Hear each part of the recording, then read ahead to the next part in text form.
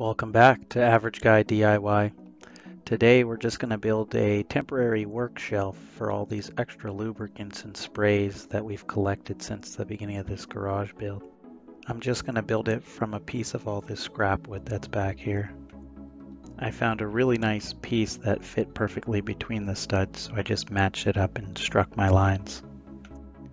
As you can see the garage is not insulated so this is just a temporary utility shelf. All the measurements I do today are just by eye, nothing in depth.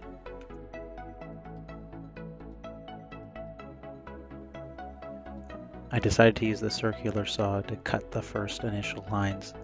I didn't expect it to cut so deep through, but it still kept the wood intact. The wood actually ended up being a little too long. I forgot I don't have that much room uh, with the circular saw, so I switched to the hand saw. Everything here is pretty straightforward. I'm literally just cutting out the notches that are going to slide over the 2x4 studs. As you can see, it looks like the cuts have passed the mark, but they haven't. They stop right where that pencil mark is.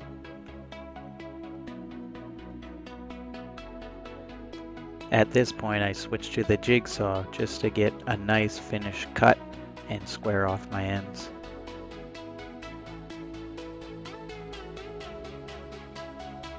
If you're ever using a jigsaw and you find there's no room for the blade, just start by making two angular cuts and then you'll be able to do your final parallel cut. Jigsaws are one of my favorite tools. You don't even need a brand new one, even the old ones still work really really well.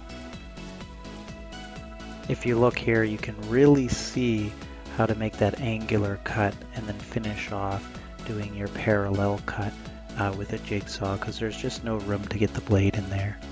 It's always nice when you're done cutting something and it fits perfect right in place. The whole shelf will just be held together with six screws, two screws into each uh, stud support.